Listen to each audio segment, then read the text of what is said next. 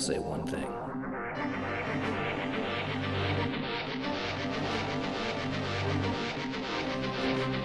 In a universe dedicated to making Homo sapiens sapiens a one term species, this is the Blinky Moskowitz Show with Blinky Moskowitz.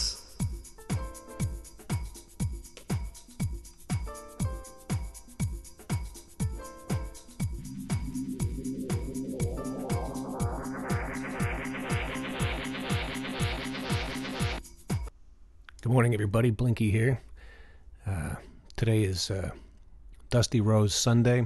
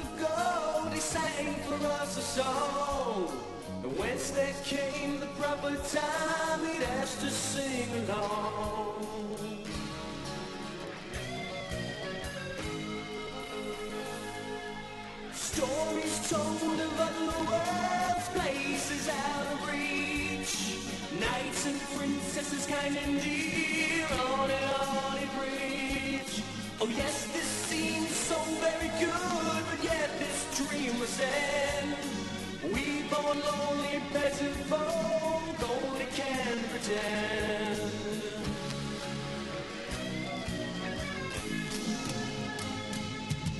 Not tripped by the minstrel, his eyes sparkle with light.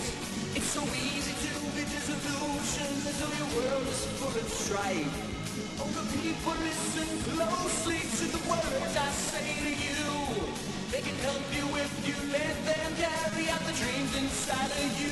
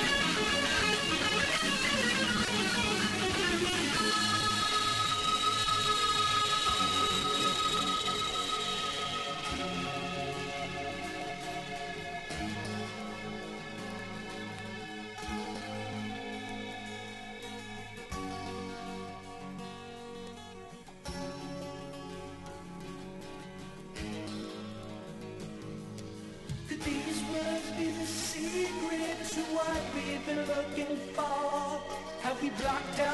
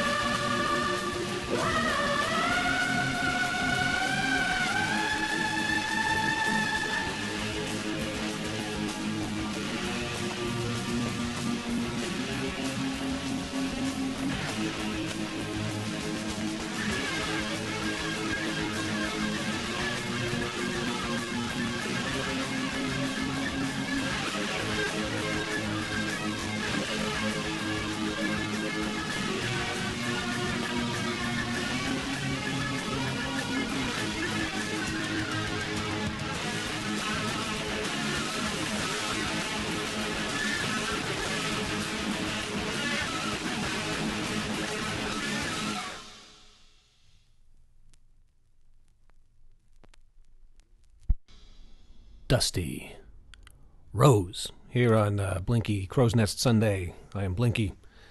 High atop the fabulous High Tor, somewhere between Mine Torn Road and Lake Frederick, coming to you quasi live here in the shaky, shaky landscapes of Los Angeles, California.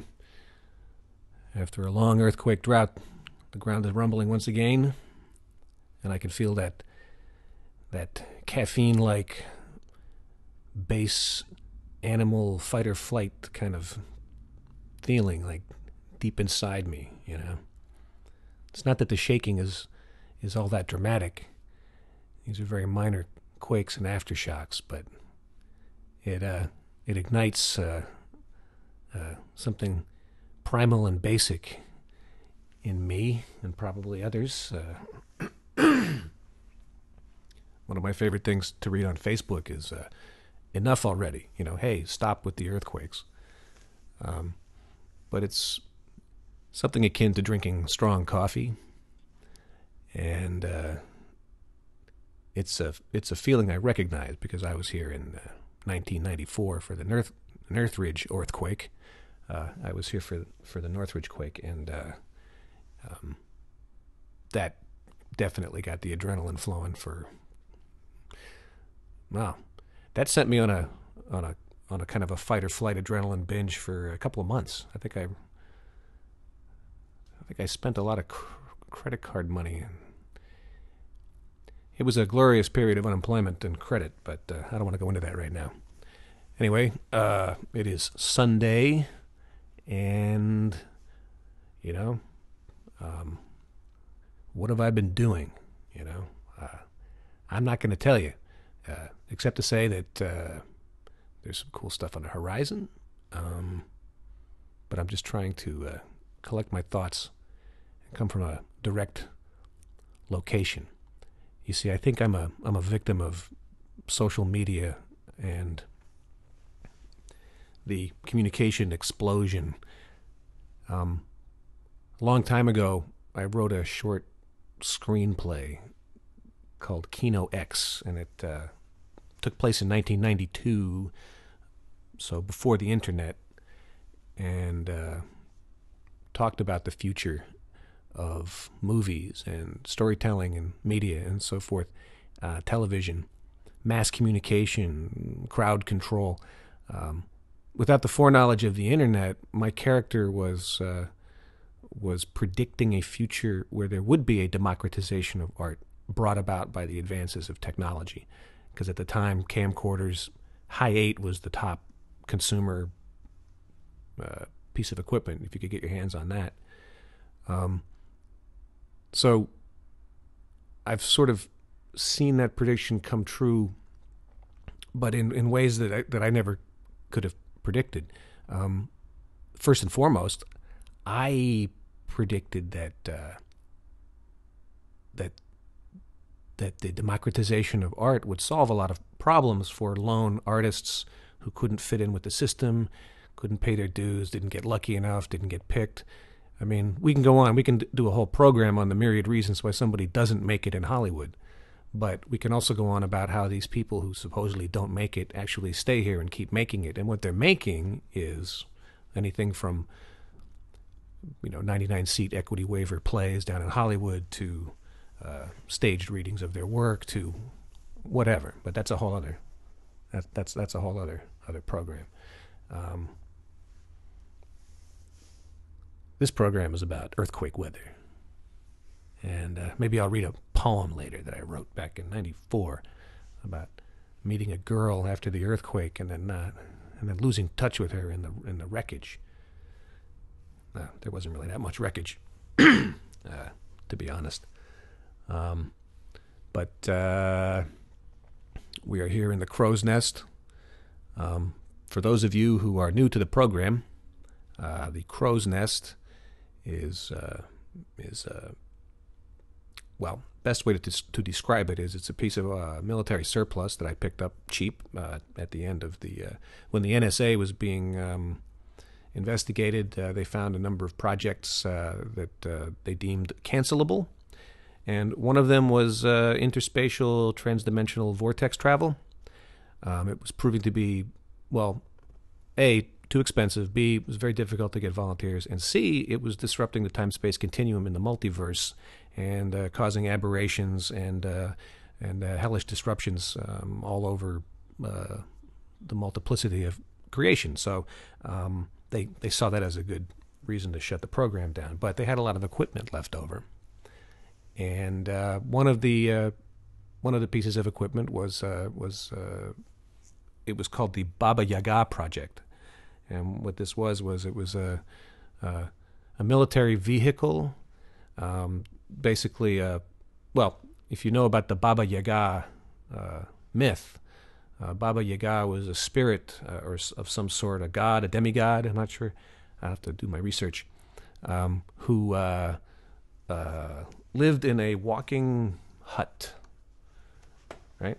Lived in a walking hut somewhere in, I don't know, Kazakhstan, maybe. And uh, so the when the military was developing this program, um, they were they were trying to create these levitating platforms that could be made in varying sizes. Uh, um, one could be the size of a, of a of a tank, and could function as a tank. But they're also on. Uh, they were they were they looked like watchtowers. You know, four-legged watchtowers with a platform on top, and they could be made larger or smaller. But the thing is, they were levitating platforms, and they could fly around. So they were basically like mobile fortresses. Um, and it was a it was a, a, a great plan because once you got into this uh, um, this mess of trying to police the multiverse and and and get get on top of that whole thing, um, well, logistics becomes an issue. You know, you can't have a good line of communication and supply through the vortex uh, tunnels because they're they're just too unstable for matter. Um, and uh, so what you end up having to, to do is go in like airborne troops, you know, completely self-sufficient. Um, but if you're going in there for an extended period of time, uh, you need to bring everything with you. So the idea would be uh, you bring your whole, uh, you know, you bring your whole wor- uh, fort with you, basically, the whole fire base. You know, think of it more like a battleship or a or an aircraft carrier. You know, but it was just called the Baba Yaga. Um, here I have it uh, off of uh, Wikipedia. Um, it's Slavic folklore. Baba Yaga is a supernatural being, um, or one of a trio of sisters of the same name. Ooh, that's like the witches in in McMurphy, who appears as a deformed and or ferocious-looking woman. Baba Yaga flies around in a mortar, wields a pestle, and dwells deep in the forest in a hut usually described as standing on chicken legs. Baba Yaga may help or hinder those that encounter or seek her out and may play a maternal role in a. So. Uh, oh. Flies around in a pest mortar? That's not the story I heard. Anyway, somebody at the Defense Department must have gotten it wrong because they named this thing the Baba Yaga. I guess because of the hut with the chicken legs. Anyway, um, it's uh, useful because it's made out of transdimensional material, uh, which means it's molecularly phase shiftable. Um, it, which means we can it, it, can change size and it can uh, and it can um, it can perform temporal phase shifting, which is I can slow time down from my perspective and speed it up. I don't like to do it; it gets a little tricky. I like slowing it down. Speeding it up, I don't like it because too much of my life goes by. And um, contrary to popular belief, I am not. Technically, I am not immortal. Um, so, but we'll do some of that. We'll we'll we'll freeze time, you know, do a little radio bullet time. And, and, and you want to know what that's going to sound like? Like, uh, ready? Like this. Yeah, because that's a totally visual thing. Anyway, uh, let's see. I got a Giant Killer update. Let's just roll with that. Okay, the Giant Killer, uh, my feature film project, which was initiated in the year 1996, um, filmed in the year 1997, 98, 99, 2000, uh, 2003, um, with uh, the majority of the special effects uh, still to be photographed or, or generated. Uh, the current state of the motion picture here in uh, the last day of March in the year 2014. Uh, there is a new draft of the script. It's now a 70 page script, and I've eliminated the uh, many familiar features such as the debris cloud and all that crap about living on the ship. It just, uh, I have, uh, I think, cracked a code that uh, reduces the chaff, so to speak, to um, more of the original concept. Which, look, let's not get into the absurdity of this situation where you know it takes me 18 years to get back to where I started. I don't want to know about that because I'm going to be 50 in September, and you know, I still think I'm 30. You know, I'm going to play that Jefferson Airplane song later about lather. By the way, who would name their kid lather? I don't know what goes on over there. But anyway, uh, uh, it, will be self-explanatory when you hear it. Um, anyway, uh, state of the uh, giant killer is uh, 70. Currently, there are uh, 93 special effects shots in the most current breakdown. Um, the last special effects breakdown I did on the picture was says here my got the sheet here in front of me. Uh, it's dated uh, March 16th, 1999. Okay. Uh, with revisions made on March 29th, 2014.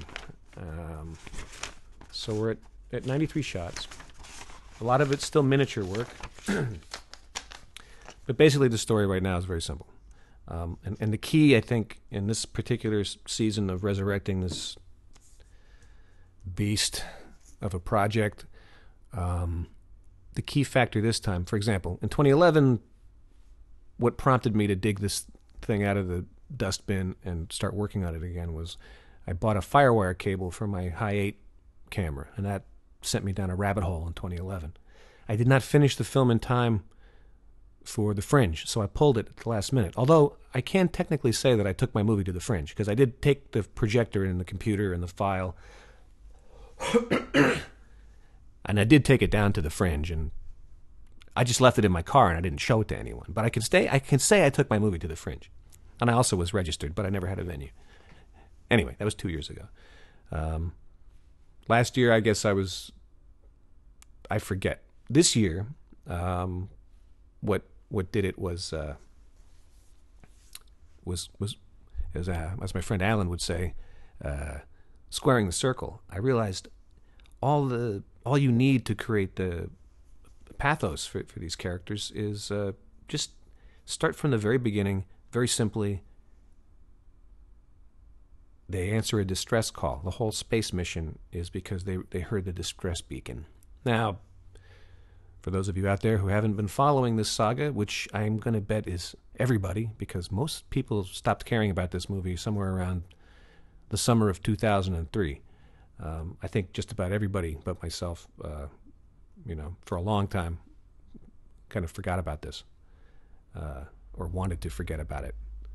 Um, it's kind of an elephant in the room, you know.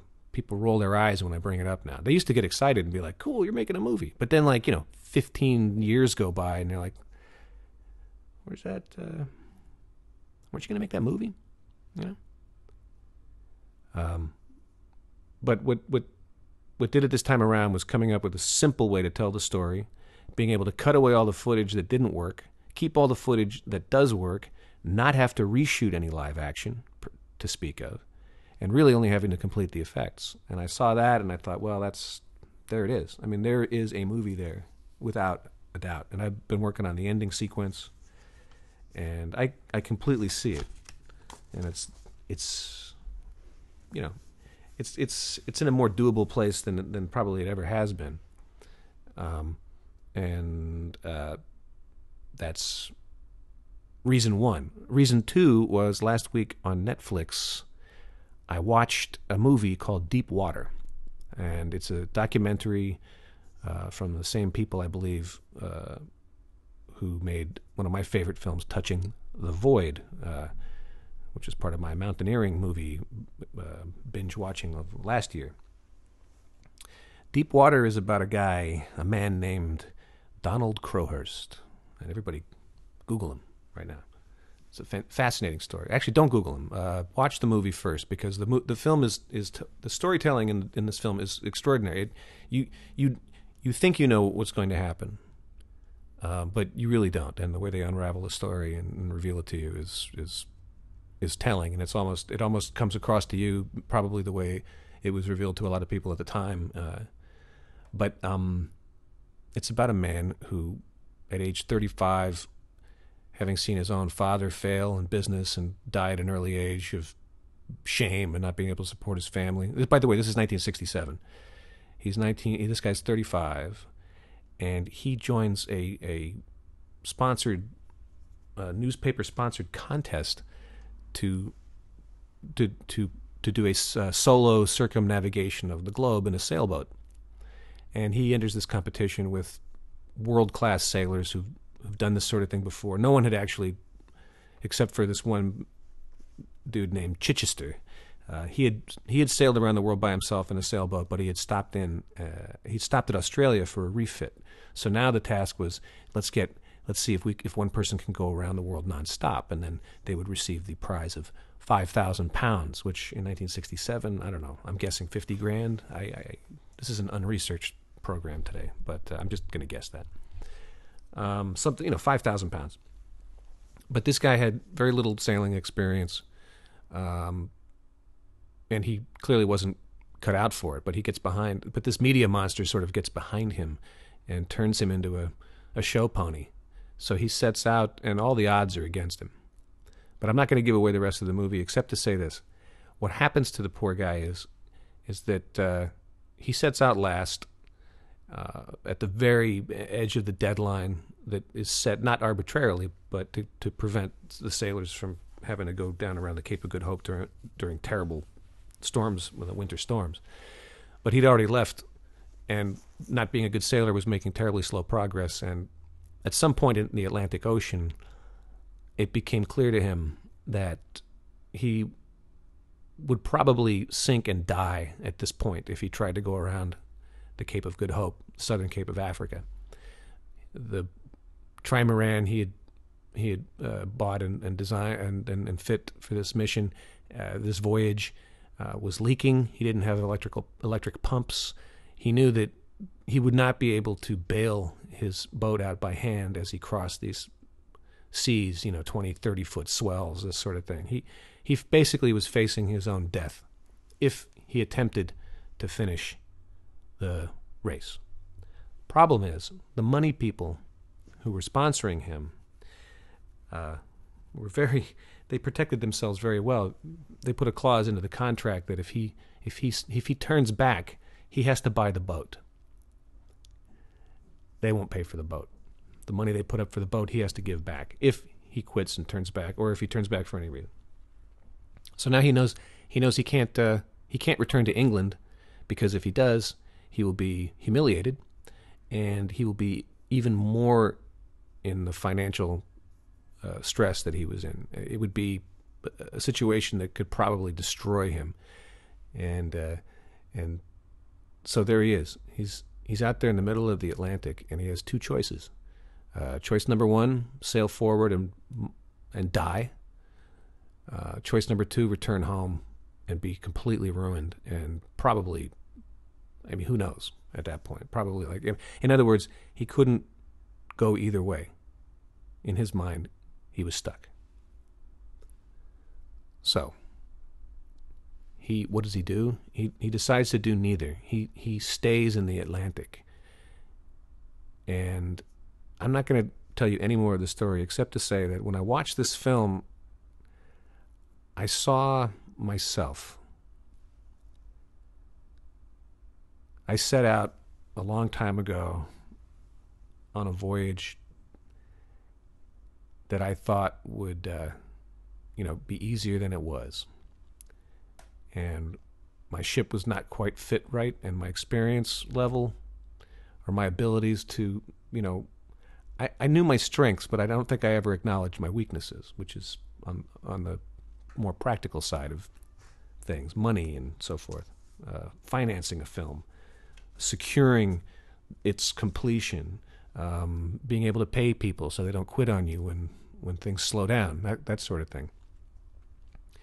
But the real thing that got me though was, you know, go forward and maybe the picture will fail. Uh, maybe you won't be able to finish it. You know, go back is like giving up and saying, ah, well, you know, 17 years, all this effort and blah, blah, blah. Who cares?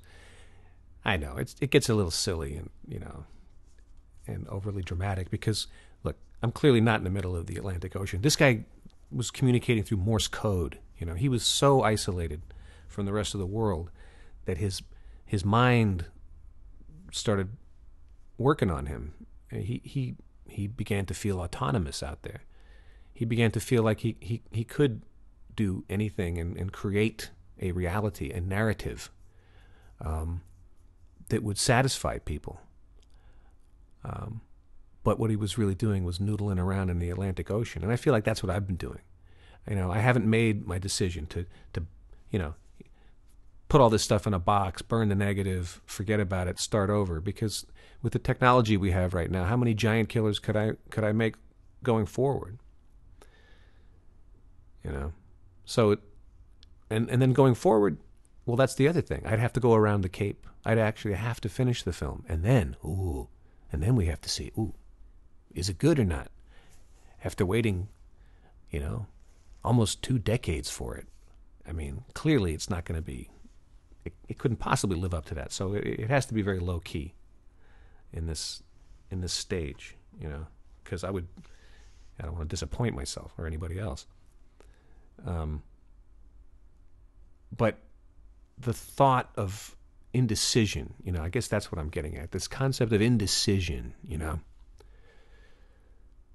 Do I go forward and die, or do I go back and die? I mean, we're all going to die, right? Like, it all ends. It all ends at some point. It's like in that movie, The Kingdom, you know, when the, the head of the FBI, some guy's trying to get him fired, and the head of the FBI goes, You know, when I was in Vietnam, Westmoreland told us all to, during Tet, Westmoreland told us all to put our dog tags in our boots because he said we're all going to fucking die, you know. And so the guy looks at the you know, so he looks at the guy who's trying to bust him and he says, "So, you know, that's the that's the attitude that I have is that every day I know I could lose this job, so I don't care. I'm going to make the decisions that I think are the right decisions because someday this job will end." So, but that's just the thing. See, what what, what I've been doing is I've been new, I've been tooling around in the Sargasso, man. I've been tooling around in the Atlantic, trying to come up with a narrative that would satisfy me. You know, do I want to do the the mockumentary this, the, about you know and make up a bunch of bullshit about how I, I secretly planned to shut the production down for 20 years so I could bring my actors back and have them do a, a documentary style. That was one stupid idea that I had, you know. But I'll tell you what, I'm, I'm just going to jump to the end. I'm going to say this is the real reason. Right now, here's the real reason. We are so much forward in time, so much forward in uh, technology, um, the expectations of, of a film. This film uh, when we first shot it, we were we had people watch the dailies, and, and, and a lot of the comments were, "Yeah, this kind of has like a '70s vibe," you know. So the film was already retro when we made it. Um, but honestly, I think the real reason is now it's it's it's a restoration project. I mean, this isn't some movie I've been I'm trying to make. This isn't my El Mariachi. This isn't my Pi, or my Go Fish, or my Blair Witch Project. Um, it was, or my, or my Clerks. It was supposed to be, though. That was the purpose. You know, I was talking to my mom earlier about about how last year's short film that we made, Judges, was purpose built. That's the term I used. I said it was purpose built for the short festival world that we're trying to, to enter with this particular project. Same thing with The Giant Killer. The Giant Killer was purpose built to be the scrappy little $10,000 film that got halfway finished to a rough cut and then was carried forward by some major studio, which would allow me to become the next blah or whatever, you know? And in parentheses, I look at these guys who came from that, like, you know, and I, I say good for them, but it didn't happen uh, with me for a lot of reasons uh, mostly uh, reasons of my own uh, my own doing.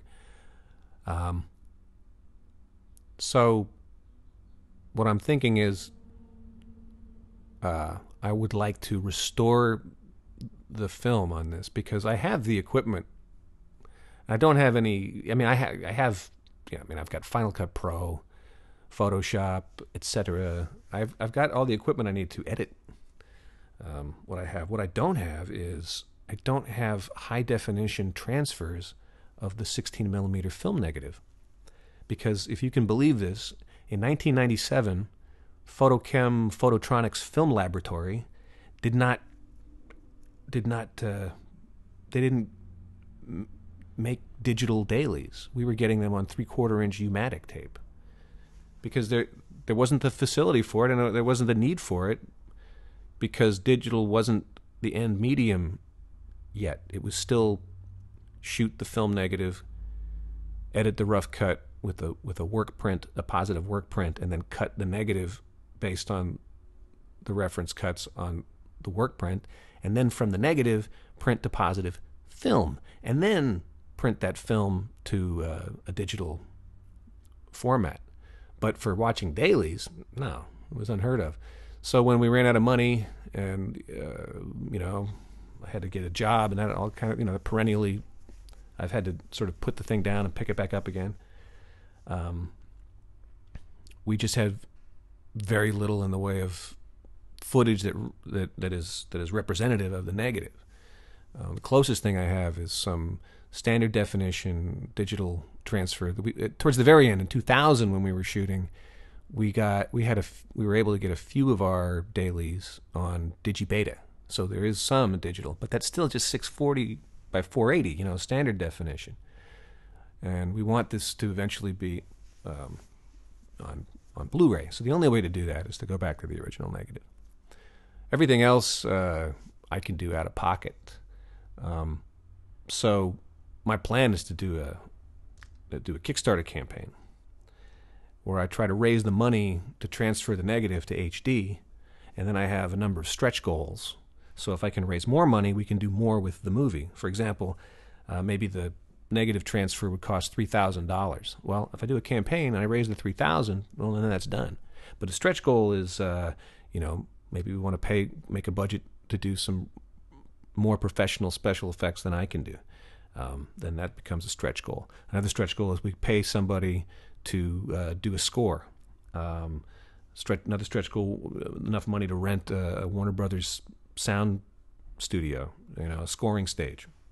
Because my friend Bill Devine has told me that uh, his dream is to score a film on a, one of those stages, and if he hasn't done it yet, maybe he can do it on this one. That that kind of thing. So I would try to uh, get into the um, into the crowdsourcing world by doing that.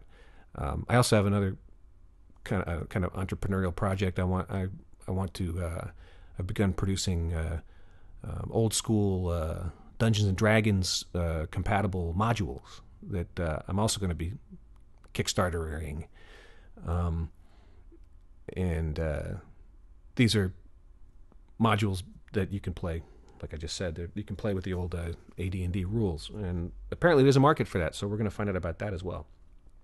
Um, so the idea would be to restore the film and then and then see what we've got, you know, at that point.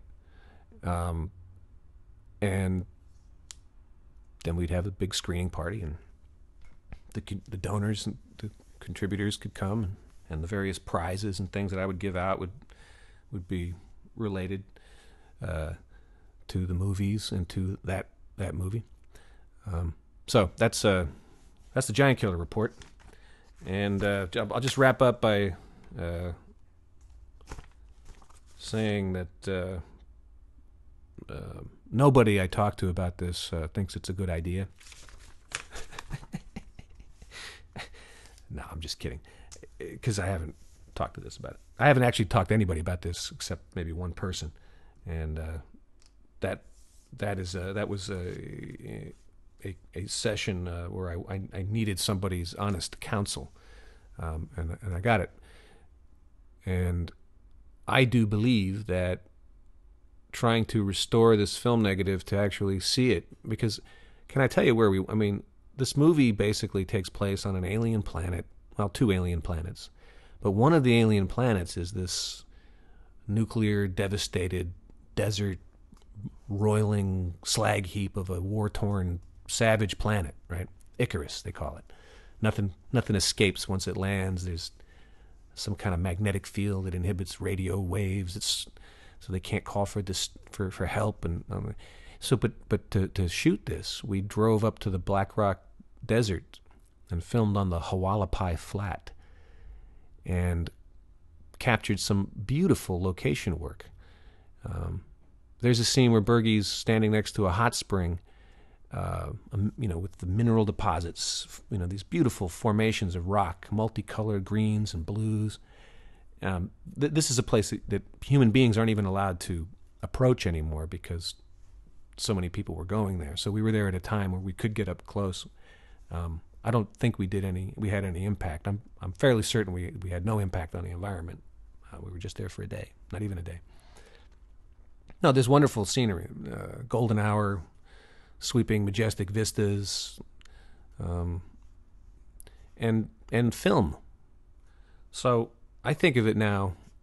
Obviously, uh, it cannot possibly be the you know my scrappy little film that started my career because look, I have to face it. For better or for worse, whatever my career is, this is what it is, right? Whatever my life has become, I can't say I'm I'm a spring chicken. I'm not 27 coming into town uh, to make you know to uh, become the next whoever, right? but I've never been able to let this film go. And I don't know. I don't. I don't think that that's necessarily some kind of condition or problem I have. Like I can't let go of things. I just the problem is I can't let go of this thing, you know. And and, and I think a lot of a lot of people close to me fear it because uh, it seems to be a dead end, a rabbit hole, a money pit, you know, a, a, a, or or even like a soul pit, you know, like as long as I'm focused on this, I'll never do anything else, sort of thing, because I'll never be able to do more than just noodle on it, you know. But look, authors have have put down their great works for as long as 14 years and picked them back up again. And I'm not going to say who because I don't want to be pretentious. I don't want to compare myself to anybody because I haven't done shit yet. But the film is film and I'm shooting on 24p 1080 uh, digital high definition video now, and I love it because it has the same quality that film had. But the Giant Killer was actually shot on film, 16 millimeter, the same film that the astronauts used on their missions. It's, I mean, sitting in those boxes in there, it's nothing. It doesn't exist. It never existed. But the other way, it could exist. And frankly, a lot of people did a lot of work on this. And it's hard to make it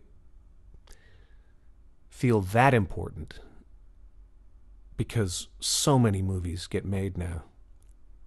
You can't say that the world is waiting for this one thing, and when they finally get to see it, uh, you know, the clouds will part. I mean, look, I just watched Gravity last night for the fiftieth time on my Blu-ray player in the in the in the in the home theater there on a 70-inch movie screen, and I look at that and I'm like, oh, why do I even bother? I don't need to make movies. That Cuaron, he made he made it for me, you know. Like I, I mean the the heat's off, man. Like I, I don't have to lift a finger, dude. I don't have to lift a fucking finger for the rest of my life as a filmmaker because there's plenty of other great filmmakers and they're going to make great films. It's just that's what I always wanted to do. That's what I always did. That's what I still do. So, anyway, call me crazy. That's the Giant Killer report. What else is going on? I don't know. I really don't. But uh, I think it's time to uh, take a short break, and uh, when I come back, we'll, we're gonna we'll do some music. All right.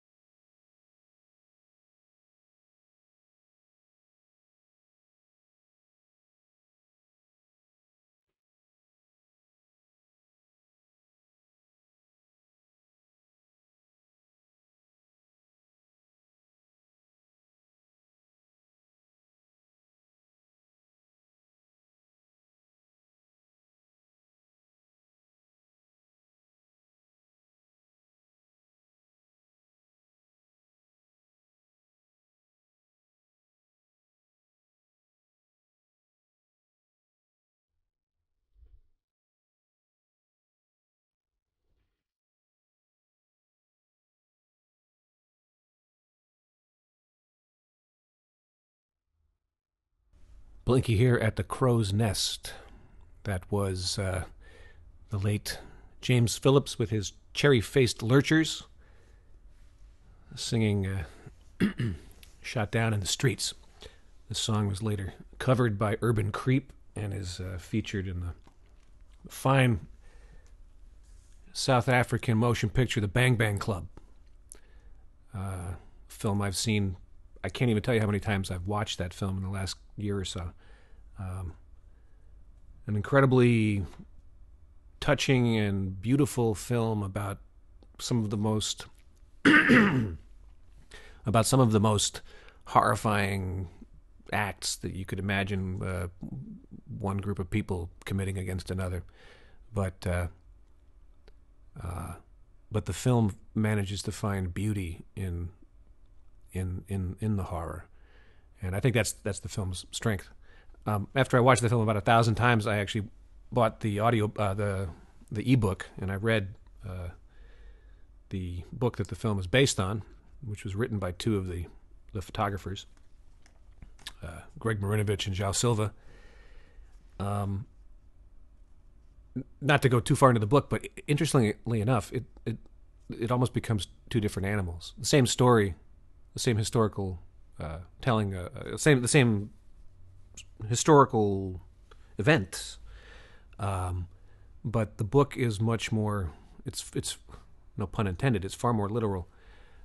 It uh, it's really inside the heads of these these two guys, whereas the film accentuates the uh, aspect of uh, togetherness and friendship and um, uh, the relationships that form in these under these circumstances. Um, to be honest with you, I don't know about the legalities of playing other people's music on this thing. If this is like radio, I see again. This is an unresearched. This is the pilot episode, basically. I, I even forgot to state my purpose earlier because I got off on a tangent, which you're going to find out I'm going to do a lot of. I'll get off on a tangent, forget what I was talking about. Um, uh, in the beginning, I was talking about. I was telling you how I was. Uh, I felt like a victim of uh, of the new social media, and what I mean by that is. Um, the overwhelming ability to be in contact with all people at all times, and uh, the, the reverse of that also being true, uh, other people being able to locate and contact me at all times, it's led me to a life of almost total isolation. I'm not going to lie to you. My life is lived almost 100% online right now because the people I have daily contact with are not physically present. You know, that's why I talk about being in the crow's nest and a, you know, come on, people, a, a phase shifted piece of surplus technology I bought from the NSA. Hey, how much? Call in if you believed that. But hey, let, believe it. It's fine because this is a show, and I, you know, anything I say on the show may or may not be true, but uh, you can always pretend that it is. Um, but no, I, I, I have a terrible problem with picking up the telephone uh, to either to answer a call or to call someone. I don't go out to cafes. I I don't uh, I don't do anything physically social. You know, it's all it's all. Uh, I live in a world of of, of multimedia pen pals, um, which is fine. Except, I can't write letters to each one of my pen pals every day, even though I want to. But how are you going to write 300 letters every day? 400 or 500 or 800? Um, well, I came up with a simple solution uh, broadcasting. Duh. You know, uh, I'll just I'll just do a broadcast. what I will do is, as I'm walking up and down the furrows of my of my farm field, I will wave my arms back and forth and cast my seeds broadly along the furrows.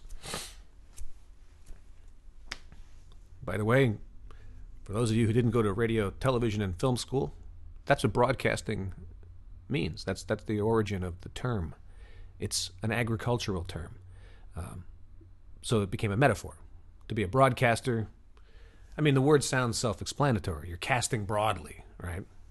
But it's actually seeds. So from the from the broadcasting, your ultimate goal is what? Life, growth, new new trees, new life, new plants, new crops, prosperity, communication, connection, connection with the earth, success, uh, survival, no rickets for your children. This is what the result of broadcasting is. So I thought, well, maybe I'll broadcast, and I could do. Uh, I'll do an hour a week, and which is awesome because that means I only have uh, nine minutes left, um, and precious too few songs uh, on this one. I, I also said I was going to read you a poem, but who knows? Might, I might have to fill towards the very end because I don't have any guests either. The show needs guests, and what I'm going to do is I'm going to have guests on the show next time. Um, at any rate, that was a tangent I went off on to close up another tangent I went off on earlier. Um, but no, Sammy's pick, uh, movie pick. Uh, well, let's just start with the Bang Bang Club. Um, look it up on IMDb. Don't read any plot spoilers, and uh, I would say don't read the book first. Um, the book, like like I was saying before, it's very straightforward, and uh, it's not cinematic. You know, it's journalistic. Whereas the film is a it's a movie. It's a heartfelt movie, but uh, I won't say too much more about it except go see it. Um, all right. Well, how about uh, hey, how about this?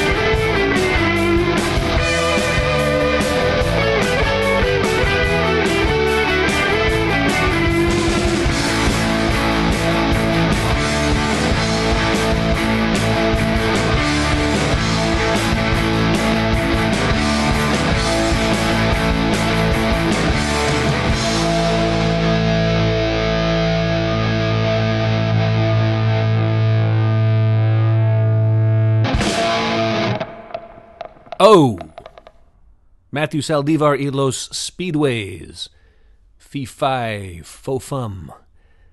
Little nepotism here on the crow's nest. That's right, that was my one and only baby brother, Matthew Saldivar, currently performing on stage at Lincoln Center in Act 1. Play based on the autobiography of Moss Hart. And you can catch him this summer in St. Louis performing in a revival of Grease. All right. Well, listen, hey, this has been great. This has been uh, a good time. Um, there's lots of ways to spend an hour, you know? A good episode of Star Trek with commercials, that's a good hour. Um, and I appreciate uh, you sticking around if, if that's in, in fact what you have done. Uh, if you're hearing my voice, you're my hero, and I appreciate it. Once again, this is Blinky, coming to you quasi live from the crow's nest, nestled someplace between the pit of our fears and the summit of our. I forgot what Rod Serling said, but I'm not going to plagiarize him. This is Blinky Moskowitz. And uh, I hope to see you here next week. Or hear you here. No, I hope for you to hear me here. I hope next. I hope next week for you to hear me. For me to hear you hear me here. Have a great Sunday, everybody. And uh, look, uh, I was conceived somewhere on or very close to the uh, premises of Florida State University, so I can't say go Gators. I'm just not really. It's just not genetically permissible. But uh, I will say congratulations to my friend Carlton, who is probably the greatest Gator who ever lived. And uh, his boys are going to the Final Four, and that's okay with me. This is Blinky. I'll see you next time.